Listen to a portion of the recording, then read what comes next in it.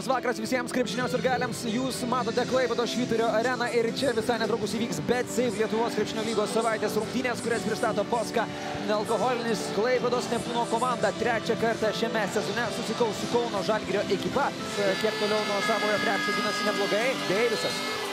Jo reidas arčiau, du taškai ir pražanga. Džerajus Masiulis viską gerai darė, ten ėjo į pagalbą ir paliko Vaitą, viskas gerai, Vyverį. Liko už nugaros. Vyverio dvitaškis ir trys realizuotos baudos iš penkių. Galdikas. O! Įmeta kamuolį Vyverį ir šis deda kamuolį iš viršaus. Galdikas atliktų tik, nekritikuojam Žalgirio atleis tave. Čia Ir iš čia tavai taip Leo bus. Westermanas. Tiesiog a, klampų pozicinį krepšį, nors dabar labai trumpa ataka. Tomas Delninkaitis, Ir dar vienas jo tritaškis. Del- tarpusavio rungtynėse. Kailas Vyveris pelnė 24 taškus. Dabar jo perdavimas leidžia Simui Galdikui pasižymėti. Anksčiau pakyla Brenonas Deivisas, Westermanas. Ir čia du prancūzo taškai situacija dar galėjo pasaugoti ir Brenonas. Grantas, Williamsas po jam sukurtos užtvaros atakuoja iš toli išlaisvintas.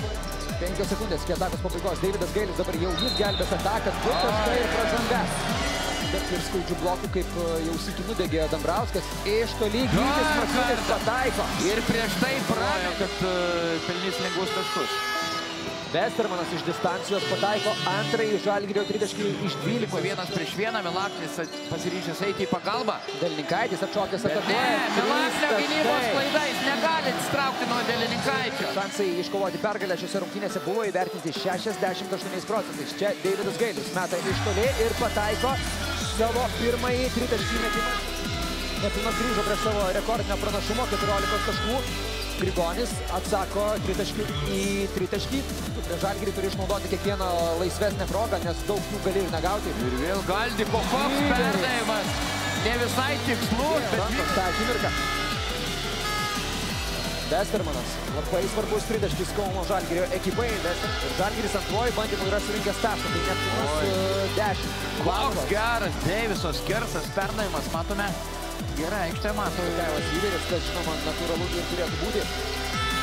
Ir čia dar gražiai vaikšto kamuolėti. Lanovas Ir Dambrauskas ten e, pasiklydo. labai nedaug laiko iki atakos pabaigos. Ir savo komandai atneša sėkmę. Vaitas. Dėjimas iš viršaus 68-62. Lisevičius čia pražiopsojo, pražiopsojo varžovo reidą. O Neptūnas bando greitai užpulti Žalgirio komandos krepšį. Galdikas. Čia jo perdavimas Dambrauskui ir 70-64. O Neptūnas taip ir turi rungtyniauti komandą, kuri turi dviženklį pranašumą. Čia Žerajus Grantas. Dabar Įmestas kamuolys Simui Galdikui. Gailius iš toli visiškai laisvas. Tai gali būti ir durklas. Gailius šiandien negaili. Čia puikia pergalė. Bravo, bravo klaipėdiečiams, užuojauta Žalgiriui, Žalgirio sirgaliams, kauniečiams reikia polisio, reikia daryti išvadas.